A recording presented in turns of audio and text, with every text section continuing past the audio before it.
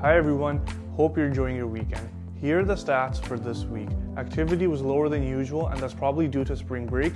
It'll be really interesting to see how the market develops as the spring season is approaching. As always, if you have any questions, please feel free to reach out. We'll be more than happy to help. Thanks for watching.